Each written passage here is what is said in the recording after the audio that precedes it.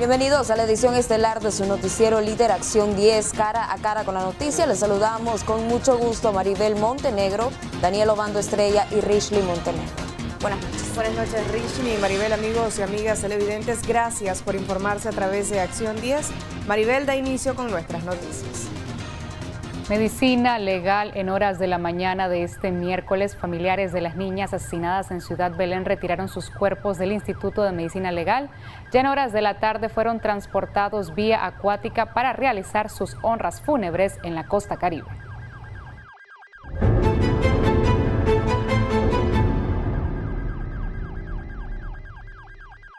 Los féretros de las niñas de 7 y 10 años de edad asesinadas en Ciudad Belén llegaron en horas de la tarde de este miércoles a un muelle ubicado en la zona de Huibil Jinotega. En las imágenes se ven miembros del ejército de Nicaragua bajando los cuerpos de la camioneta roja que salió en la mañana del Instituto de Medicina Legal en Managua. Sus restos descansarán en una comunidad de Río Coco en la costa caribe nicaragüense, donde la familia afectada es originaria. Se conoció que las niñas tenían poco tiempo de residir en Ciudad Belén, donde se cometió el doble crimen que mantiene conmocionados a una nación. Aún se desconocen los resultados de las autopsias practicadas en los cuerpos de las víctimas, por lo que las causas directas de las muertes todavía son un misterio. En un comunicado la policía informó este martes que detuvo a tres personas sospechosas de cometer los asesinatos. Durante las investigaciones la policía logró encontrar en el lugar del crimen un colchón, un trozo de alambre duplex. Asimismo recolectaron muestras de fluidos corporales. Jimmy Romero, Acción 10.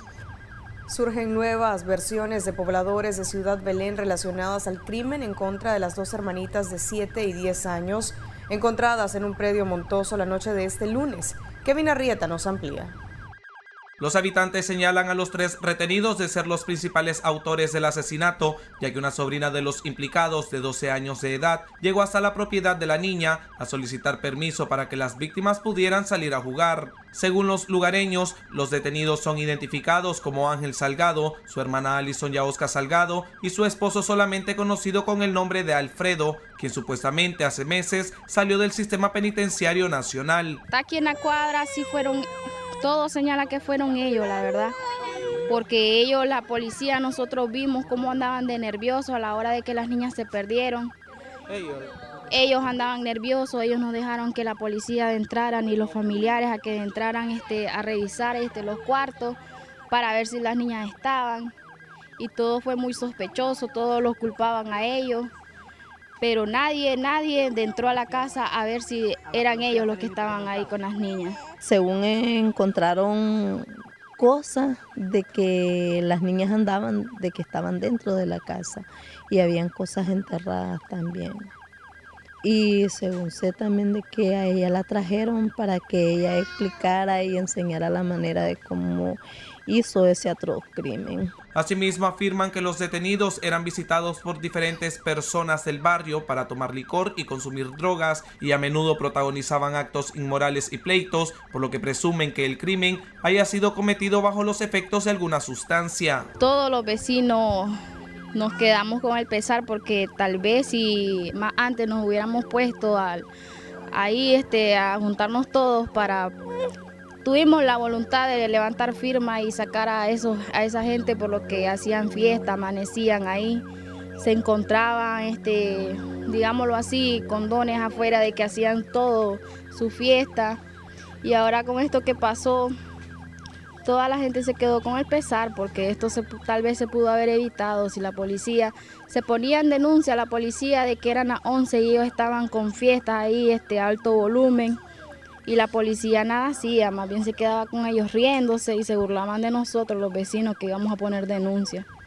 A ellos no les daba pena de que los vecinos los miraran, no, ellos no disimulaban nada y se ponían a consumir dejaban las cosas tiradas ahí. Según explicó una de las vecinas, este martes la familia Misquita tuvo que abandonar la vivienda que alquilaba ante supuestas amenazas que recibieron por parte de familiares de los detenidos. Ellos regresaron junto a los féretros de las menores a su lugar de origen en la comunidad Alto Huanqui en Río Coco. Según sé de parte del propio tío de una de las, de las niñas, de que ellos ya se fueron definitivamente para su lugar, que ellos ya no van a regresar Eso es lo que ellos decidieron, pues, irse junto con las niñas, porque ya hoy se las llevaron por la misma situación que sucedió.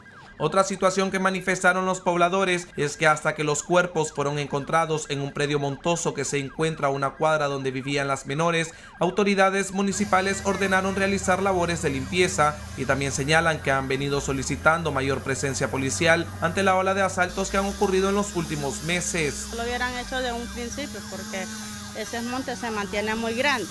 Espérese unos meses que pase y ya vuelve a crecer el montarascal y eso no es así, tienen que mantener limpio pongan un rótulo para que no vengan a botar a animales muertos, porque uno está pensando que era un animal, más que no sabían que eran las niñas, ¿verdad?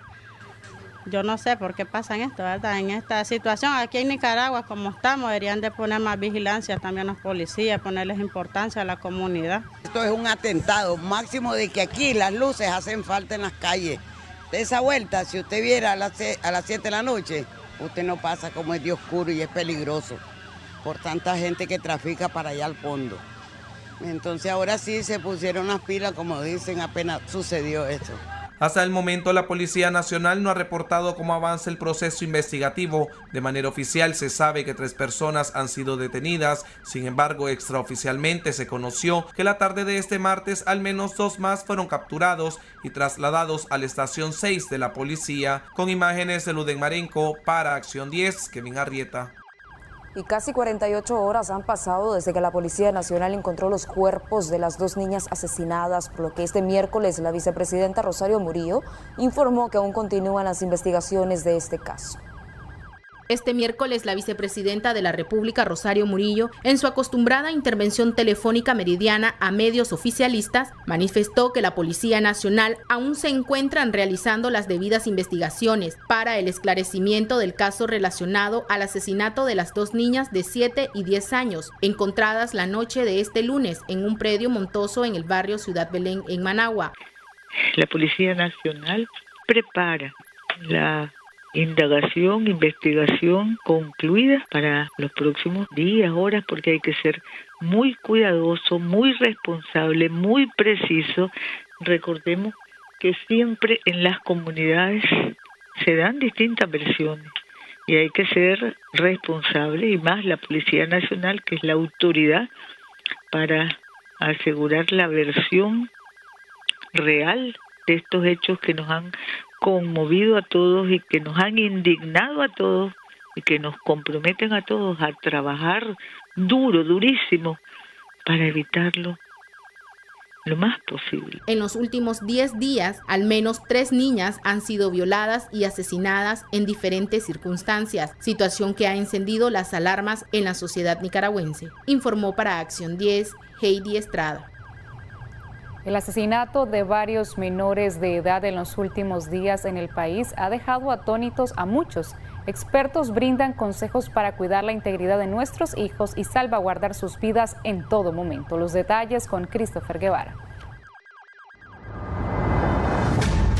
Hablar de la seguridad infantil se ha tornado un tema sensible y muy notorio por la vulnerabilidad de los niños. Y es que en los últimos días menores de edad han sido asesinados atrozmente y esto ha conmocionado a la población. Entre los casos más recientes está el de dos hermanitas que fueron encontradas en un predio baldío luego de ser reportadas como desaparecidas. Expertos reaccionan a estos acontecimientos y comparten consejos para la protección integral de nuestros pequeños.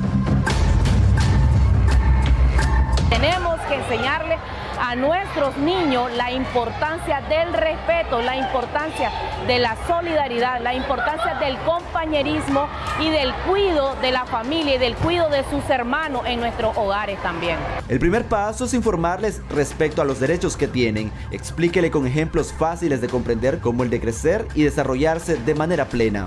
Recordemos que la familia es la primera escuela de nuestros niños donde se aprenden los valores y cómo los padres y las madres lo deben de fomentar.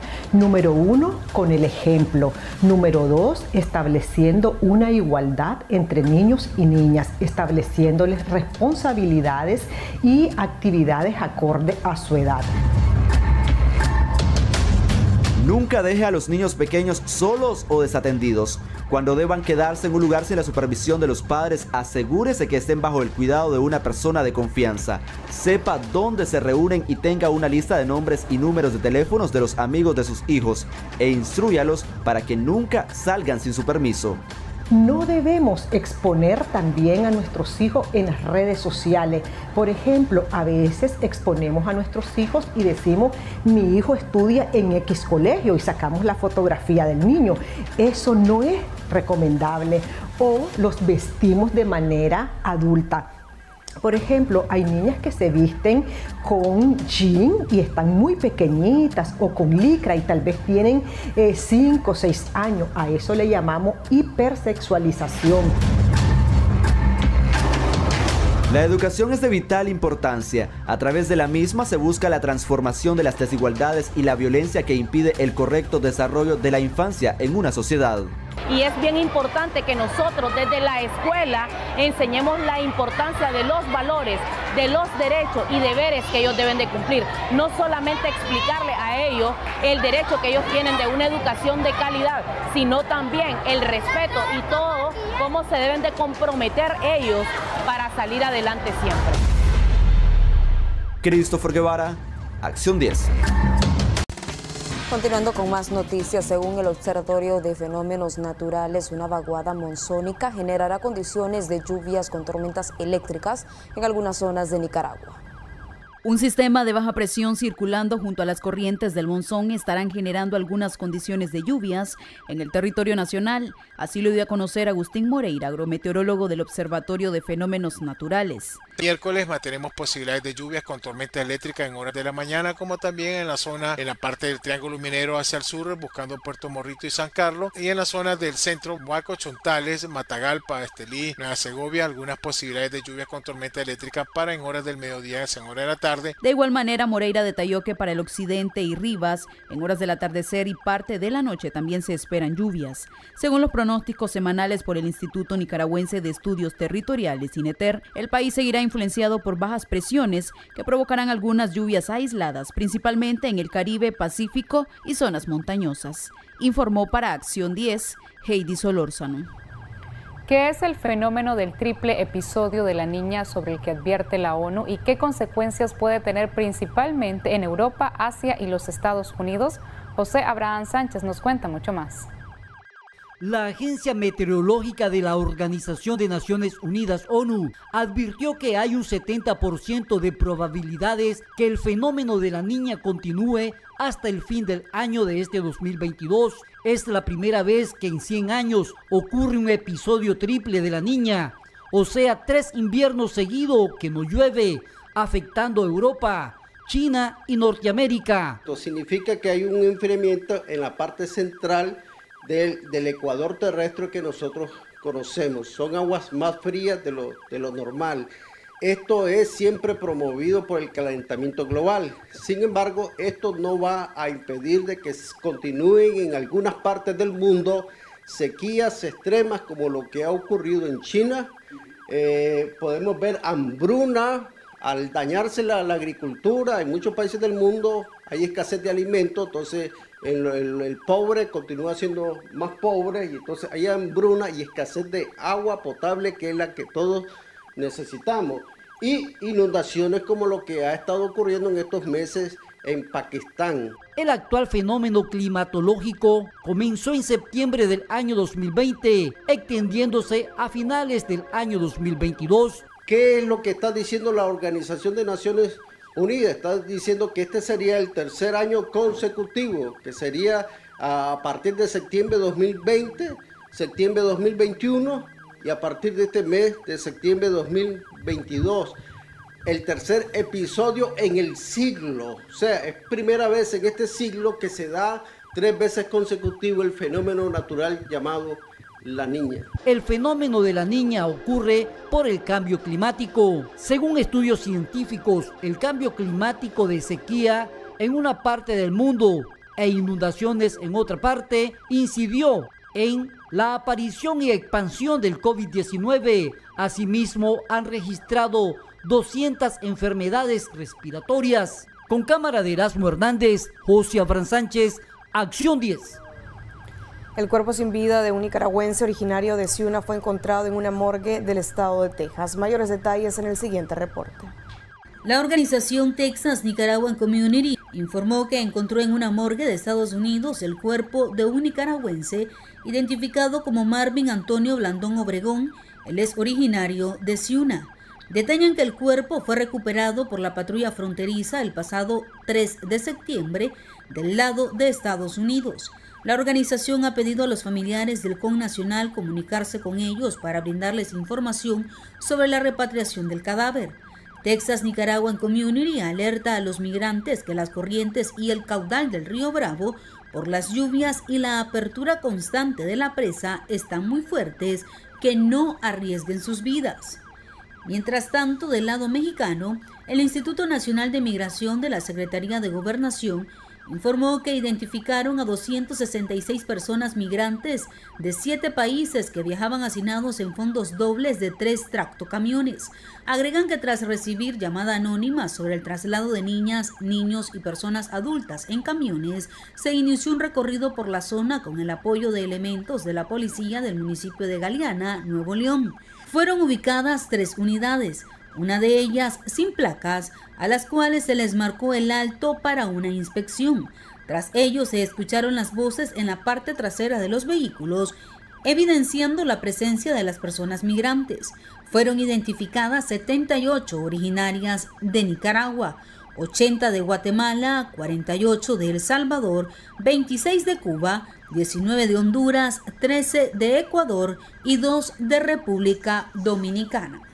María Esther Ordóñez, Acción 10. En Vietnam, al menos 23 personas fallecieron tras producirse un voraz incendio en el segundo y tercer piso de un karaoke. Esta y otras informaciones en el siguiente bloque de sucesos internacionales con María Esther Ordóñez. Nuestros volcanes, nuestra comida, nuestra Prix. Apoya lo nuestro. Prix Cola. Solo Nica sabe.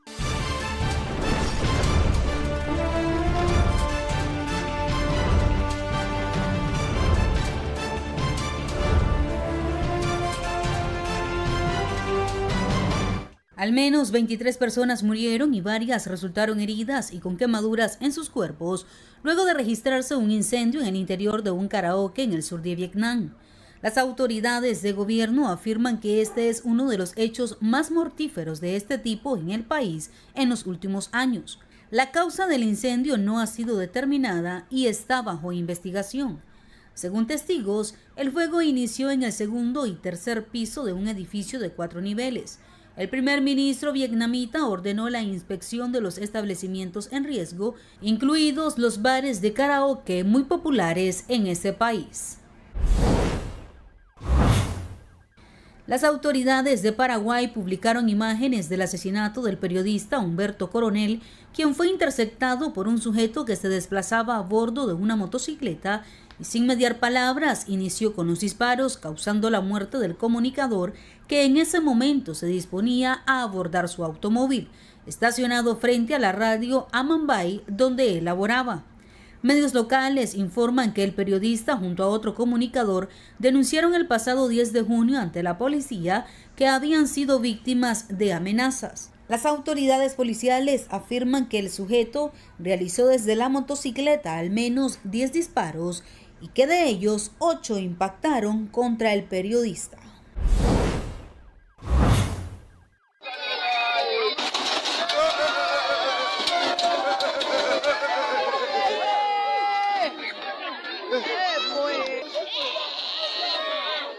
Lo que parecía ser un momento de alegría pasó a ser segundos de pánico, cuando un puente recién inaugurado en la República Democrática del Congo se derrumba justo en el momento cuando aún había personas cortando la cinta. El video se ha vuelto viral en las redes sociales. Según indicaron las autoridades, el nuevo puente se suponía que uniría las viviendas en el distrito de Saya con las de Samba Telecom, pero cuando la cinta estaba siendo recién cortada, el puente colapsó. Se informó que en el lugar no se reportó víctimas humanas que lamentar y que algunos de los presentes resultaron con lesiones leves en sus cuerpos, además que las autoridades correspondientes realizan las investigaciones. María Esther Ordóñez, Acción 10. Continuamos. El hombre señalado de asesinar a machetazos a una mujer en un residencial del departamento de Chinandega fue remitido a juicio. Jimmy Romero con la información. Oscar Leonardo Hernández, el hombre de 43 años de edad señalado de asesinar a punto de machetazos a la señora Elisa Lisbeth Montano Franco, será remitido a juicio. Así lo dio a conocer el juez segundo distrito penal de audiencia de Chinandega tras concluir la audiencia inicial. Mientras espera su juicio, el hombre seguirá detenido y guardando prisión preventiva. Los delitos que se le señalan son asesinato agravado, robo con violencia y obstrucción de funciones en perjuicio de la policía. La fecha será determinada por un juez de juicio que se le asigne la causa.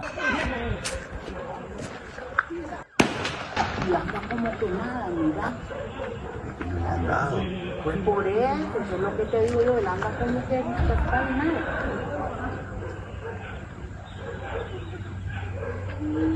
Hernández el pasado 21 de agosto atacó salvajemente con 13 machetazos a su víctima con arma blanca que portaba en su mano hasta mutilarle su brazo izquierdo hasta causarle la muerte. Todo hace indicar que el atacante pretendía robarle su celular en el momento que la mujer realizaba ejercicios en el residencial Los Farallones del departamento de Chinandega.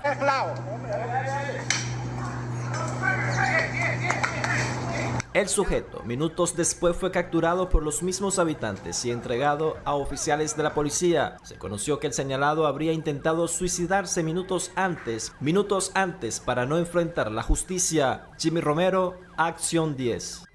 En el municipio de San Rafael del Sur ocurrió un supuesto incesto. Dos hermanos se enamoraron y se fueron a vivir a Costa Rica para convivir como pareja. Víctor Ticay, corresponsal de la zona, nos cuenta la historia. Un caso considerado insólito ha ocurrido en San Rafael del Sur, donde dos hermanos de madre supuestamente iniciaron una relación de pareja. Según denunció la madre de ambos jóvenes, Jonathan Antonio Cárdenas García, de 24 años de edad, y su hermana Yunieska del Carmen Díaz García, de 18 años, se enamoraron y se fueron de su casa rumbo a Costa Rica. Bueno, yo quiero denunciar de mi hijo Jonathan, ¿verdad? Que me regrese a Yunieska según él se, enamoró de ella, ¿ves? Y eso no puede ser, eso es un este, incesto que, le dicen, ¿ves? Entonces yo necesito, yo le hago el llamado de que por favor me la regrese. ¿Había notado algo entre ellos de que ellos se habían enamorado? Pues no, no, no, no, no notaba nada de eso hasta ahora, de que él se me la llevó para Costa Rica. ¿Y hace cuánto se la llevó? Eh, del viernes a esta parte, no sé nada de ellos. ¿Usted este, están seguro que él se la llevó a ella? Sí, porque ella, según él, no aparece ni ella ni él. Supuestamente él se la llevó, no hay de otra. Porque luego no está él en su casa ni ella, porque se fueron juntos. ¿Y no se han logrado comunicar con ellos por teléfono? No, no contestan los números de teléfono, salen apagados.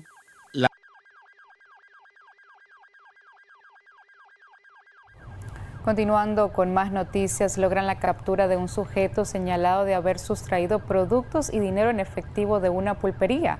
El hecho ocurrió en un barrio del departamento de Boaco. Los propietarios de una vivienda que funciona como pulpería lograron capturar a uno de dos sujetos que minutos antes habían sustraído varios productos y dinero en efectivo. El robo ocurrió en el barrio anexo El Muñeco en Boaco, donde la falta de luminarias en el sector facilita los actos delictivos. Agarré a uno que estaba escondido ahí en el monte y, y el otro se corrió pues y fuimos a quitarle las cosas hasta allá abajo. ¿Y se te llevaron algo? ¿No has, no has revisado? Me he revisado a fondo, pues, ¿qué más se me llevó? ¿Qué le lograste quitar a este? le quitamos una sardina, le quitamos un, este, unas leches, pan, una bolsa de pan, chivería, dinero. Sí. Pero no hemos revisado qué más se lo llevó, sí. Porque estamos viendo tele, pues, cuando apercatamos los perros fue lo que... Lo que dio aviso. Lo que, dio aviso, pues. Y que no hay luminarias en este sector. No hay nada, no hay nada. Aquí sí, como vos ves, esos, esos postes, el tendido eléctrico yo lo traje desde allá, pero es de parte mía, pues. Sí. De, norte y sur. Yo tengo que dejar esa bujía encendida, porque tengo la ventecita y tengo el microbús, y el microbús yo lo dejaba aquí afuera, pero ahora lo dejo adentro porque me lo intentaron abrir dos veces. Por eso aquí somos víctimas de, porque aquí es pasadera de droga, aquí es pasadera de robo, aquí es pasadera de todo. Aquí en la noche nosotros todos como vecinos sufrimos a cada rato porque no es la primera vez que se nos meten a robar. El capturado de 18 años aproximadamente fue entregado a las autoridades. Los habitantes de este barrio demandan mayor presencia policial y solicitan la instalación de luminarias. Aseguran que no es la primera vez que ocurren robos debido a la oscuridad en el sector. En Boaco, Francisco Cantillano, Acción 10. Pobladores de una comunidad del municipio de La Paz del departamento de Carazo solicitan la reparación de varios kilómetros de camino. Habitantes de la comunidad San Diego número 2 del municipio de La Paz en el departamento de Carazo piden el apoyo de las autoridades gubernamentales para la reparación del camino que conduce a dicha comunidad debido a que está en mal estado y cuando llueve el acceso es difícil, principalmente para los estudiantes de la zona. Ese camino no se puede pasar directamente Sí, no se puede pasar en vehículo. El vehículo que pasa allí se descontrola. Se, han fregado varios vehículos. ¿Y cuando llueve? Y cuando llueve no se puede pasar. Oh, yo le pido al gobierno, ¿verdad?, que nos ayude, ¿verdad? Ya que el encargado de aquí, de este barrio, no los apoya, pues que los apoyen ellos, porque no se puede hacer otra cosa. Esta situación que estamos atravesando nosotros aquí en el barrio San Diego es que, como usted puede enfocar allá, esa cañada ahí cuando se transita llena de agua, ahí hay muchachitos que van a clase, ¿verdad? No pueden pasar porque y los caminos están desbaratados por donde usted lo busca. Necesitamos que la alcaldía, pues le hacemos llamado a la alcaldía La Paz. Además, piden la tala de varios árboles que están a punto de colapsar en el camino, porque las lluvias han socavado sus raíces y pueden causar alguna tragedia. Informó para Acción 10, Víctor Ticay. La Policía de Tránsito de Nueva Segovia reportó un total de 263 accidentes viales que han causado la muerte de 38 personas en lo que va del año.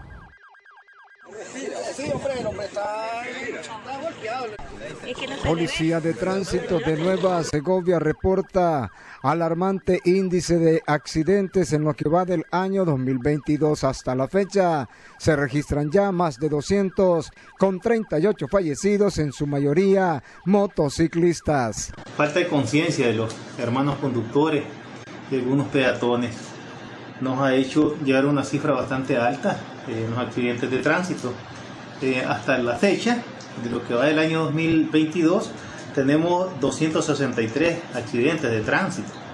De estos ya tenemos 38 personas fallecidas, tenemos 28 ciudadanos lesionados los municipios más afectados con accidentes viales de fatalidad son en primer lugar Jalapa, Jícaro, Quilalí y Huihuili. En la cabecera de Nueva Segovia, Ocotal, hasta el momento no hay fallecidos. Los accidentes que se nos están presentando es por el abuso de los conductores, el exceso de velocidad, desatender las señales de tránsito, eh, el estado de ebriedad. Nosotros hemos venido trabajando de manera articulada con todas las instituciones eh, la parte social y la población en general para la prevención de accidentes de tránsito. Eh, hagamos conciencia. Aquí de por medio está la vida de conduzcamos despacio, al respeto a las señales de tránsito, el uso del casco, los motorizados. No es necesario que anden corriendo. Las carreras ilegales que se están eh, presentando en algunos lugares acá, ahí se andan corriendo. Ellos se corren, ellos son los que andan buscando los Los dos últimos fallecidos en accidentes de tránsito responden a los nombres de Diamilton Olivera Betanco, de 38 años, que falleció al no controlar su moto en la rampa del Escambray, Jalapa, por su estado de ebriedad, cayendo con toda y moto en el río, muriendo por sumersión. Este sucedió el pasado 5 de septiembre y el Marro, donde Edwin Ramón Landero Landero, de 28 años de las Cruces Mozonte, fue impactado por un vehículo desconocido. El conductor de este se dio a la fuga, dejando tirado el cuerpo del infortunado. En Ocotal, Nueva Segovia, Jorge Corrales. Gracias por continuar con nosotros. Con 86 votos a favor, diputados en la Asamblea Nacional aprobaron este miércoles una reforma a la ley de bienes raíces. Con esta nueva reestructuración, las empresas que se dedican a este negocio tendrán que pagar un nuevo valor en su licencia. Jimmy Romero nos amplía. Con dicha reforma aprobada por solicitud del Ejecutivo, las empresas y personas naturales que se dedican a la venta y alquiler de bienes raíces en Nicaragua tendrán que pagar un nuevo valor en sus licencias para operar. Los montos nuevos van desde 50 a 400 dólares. Y considerando que se ha expandido el negocio de bienes y raíces en Nicaragua, es necesario fortalecer el ordenamiento jurídico que permita garantizar la seguridad jurídica y transparencia de las operaciones que conllevan estas actividades.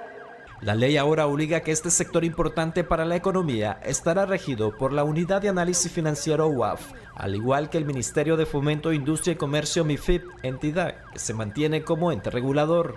Que tiene como objetivo el combate efectivo, el combate eficaz a la narcoactividad, el crimen organizado y el blanqueo de capitales.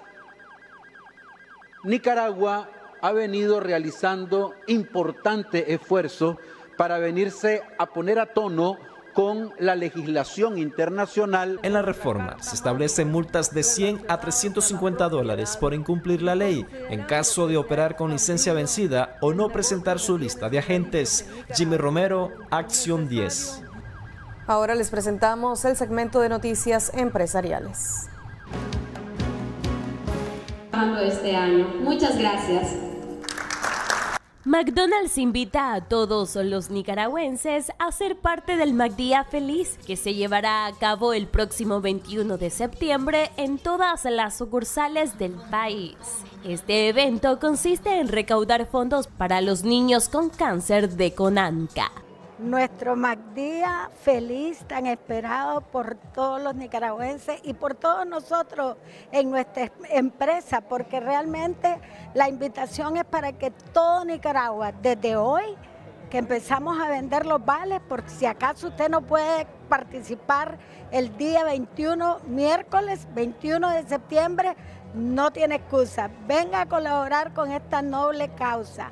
El 100% de la venta de Big Mac serán destinados a Conanca y darles una oportunidad de vida a más de 350 niños con cáncer. Además, estarán a la venta vales de este mismo combo del 7 al 21 de septiembre y que podrán ser canjeados del 22 de septiembre hasta finalizar el año 2022. En el Hospital La Mascota, en el Departamento de Hematología, se atienden a más de mil y pico de niños con cáncer y leucemia. Esto significa que nosotros tenemos que apoyar, dar eh, un como nicaragüenses, dar un apoyo a estos niños, de los cuales se han salvado 1.800 niños. Pequeñas acciones, grandes cambios. Saili Aguilar, Acción 10. La Universidad Americana lleva a cabo la quinta feria de empleo con la participación de 48 empresas que ofrecen diferentes plazas laborales. Uno de los requisitos es llevar la hoja de vida impresa en horarios de 9 de la mañana a 5 de la tarde. Este miércoles 48 empresas brindan oportunidades laborales a través de la quinta feria de empleos organizada por la Universidad Americana, donde tanto alumnos egresados o por culminar sus carreras pueden aplicar algún puesto de trabajo. Eh, lo que hacemos es que las empresas vienen hoy a presentar sus ofertas laboral, los estudiantes tanto egresados como los que están por egresar, ¿verdad? Ya en sus últimos años vienen, ¿verdad? Y pueden aplicar a lo que las, a las necesidades de cada empresa. Entonces somos un medio facilitador. Estoy aplicando, pero también fue, formé parte de la, de, la, de la creación de esta feria laboral y me parece pues una gran oportunidad para mí que soy egresado y también para los estudiantes de la universidad, porque es una puerta hacia ellos, hacia el mundo laboral y algo donde ellos pues puedan desempeñarse de un modo en que pongan en práctica todo lo que aprendieron en, en sus clases. Esta feria también está abierta a todo público interesado en conseguir un empleo. Nuestra participación en este momento va acorde con la estrategia empresarial que mi organización tiene de crecimiento y solidez. Entonces estamos integrando un proyecto dirigido a jóvenes y nuevos profesionales de nuestro país y por eso es que estamos siendo presentes en esta feria tan importante que contribuye para el dinamismo de nuestra economía. Ah, ¿Aquí pueden aplicar a alguna plaza? Sí, nosotros eh, pues invitamos a los jóvenes a participar en el stand de FETESA para aplicar a las plazas que actualmente tenemos vacantes. Eh, pueden consultarnos los detalles acá. Tenemos programas de pasantías internas. La feria se realiza en la cancha deportiva del Centro de Estudios Superiores hasta las 5 de la tarde. En Acción 10, Geraldine Domínguez. En otros temas, familiares de un nicaragüense que fue secuestrado en México piden a la población que los ayude económicamente para pagar la suma de 5 mil dólares con el fin de que su pariente quede en libertad. Los detalles con Katy Molina.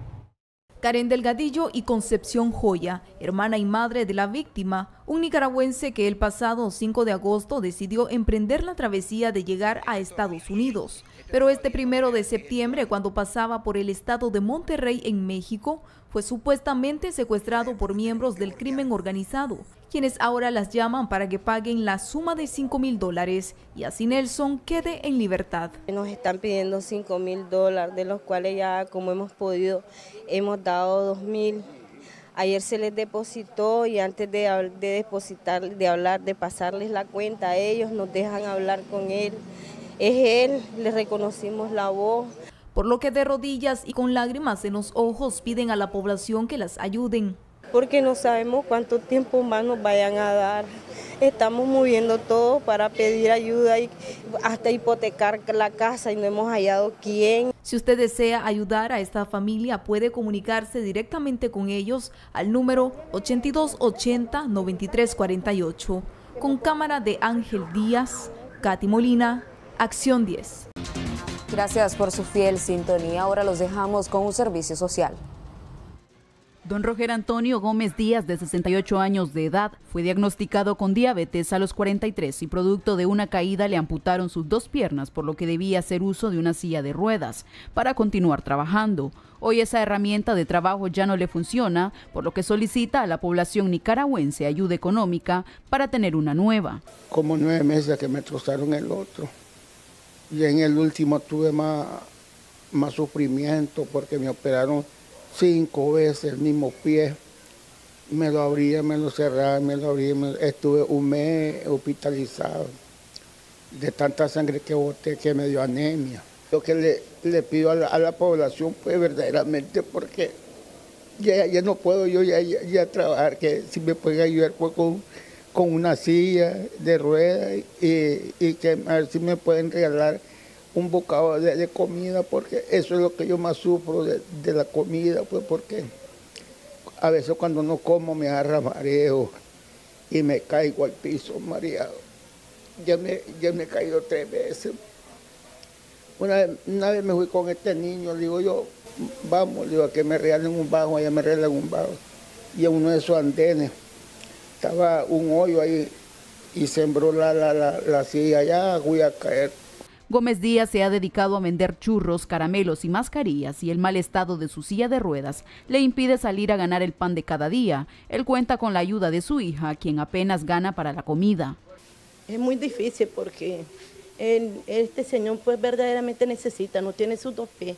Antes él con sus pies pues él podía andar vendiendo en las calles ahora ya no. ¿Cuál es el llamado que usted le hace a la población? ¿Qué necesitan que de ayuda?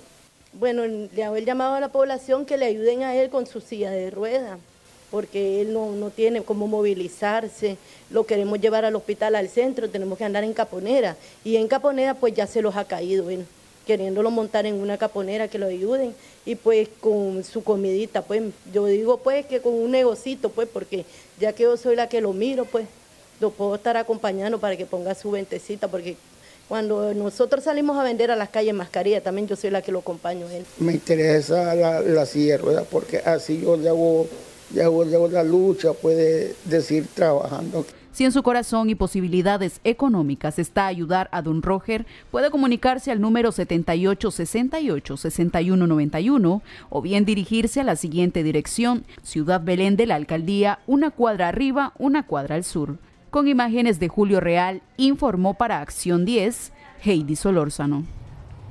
Un señor de la tercera edad afectado por catarata en uno de sus ojos solicita a la población que lo ayuden para realizarse una cirugía ya que no cuenta con los recursos económicos necesarios para pagar dicha intervención. Pablo Martínez, de 88 años de edad, quien padece de catarata, no tiene dinero para pagar la operación que le ayudaría a tratar el problema visual, por lo que solicita a la población que lo ayuden económicamente o que un especialista lo atienda de manera gratuita. Porque en el hospital solo curan la catarata y, eso es debajo de las niñas el ojo de enfermedad y, en el hospital no me lo hacen porque yo quedar ciego. De verdad, yo miro turbio porque no, no, miro del todo. Miro un poquito, pues, pero la fuerza es este. y eso es lo que yo necesito, de que me curen el ojo. yo de quiera y y en otras partes me lo pueden hacer, pero no tengo reales, son 30 mil no sé cuántos pesos quitan, no sé. Además, Martínez asegura que tiene otros problemas en su salud que no le permiten trabajar y relata que su familia con costo puede darle de comer. Si usted desea ayudarlo, puede ubicarlo en el barrio Hugo Chávez Frías en Managua, de la entrada principal 26 andenes al norte, 10 varas al oeste, con cámara de Ángel Díaz, Katy Molina, Acción 10. Bien, antes de finalizar tenemos saludos muy especiales para Alison Belén Méndez. Está cumpliendo un añito de feliz existencia. También feliz cumpleaños a doña Rosa Moreno Torres de parte de su hija que la quiere mucho.